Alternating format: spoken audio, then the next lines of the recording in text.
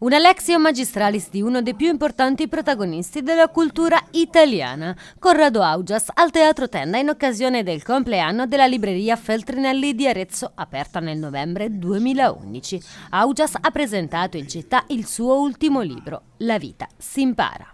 Si impara lentamente, perché sono tante le cose da imparare. Non parlo della scuola, anche della scuola, ma bisogna imparare i rapporti con gli altri, con gli altri bambini, poi con gli altri adolescenti, poi i primi rapporti amorosi così difficili da gestire, i rapporti con i genitori quando arrivano quegli anni complicati in cui si vorrebbe uscire di casa, eccetera, e poi i rapporti professionali che Dio sa quanto sono complicati, eccetera, eccetera.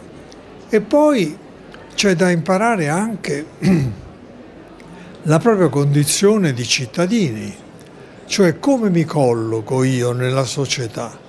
Sto a casa mia, faccio le mie cose con onestà e non mi curo del resto, oppure cerco di capire dove va il mio comune, il, il mio paese, l'Europa, il mondo, e dico esagerando, capito?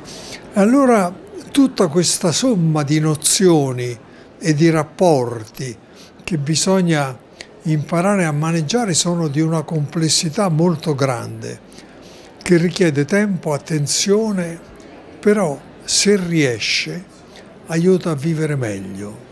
Corrado Augias ha poi affrontato diversi temi legati all'attualità politica nazionale ed internazionale, parlando anche di populismo. Ancora una volta noi, siamo, abbiamo, noi Italia, noi italiani, abbiamo aperto la strada, perché io me lo ricordo che cosa fu lo shock quando giocando sui temi apertamente populistici Berlusconi nel 94 vinse le elezioni.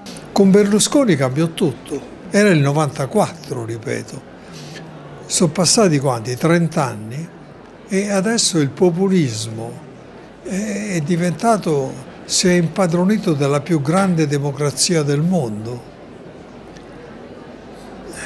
Non so che dire, eh, cioè io so, che, io credo di sapere da che cosa dipende. Dipende dal fatto che i nostri anni sono dominati dalla paura.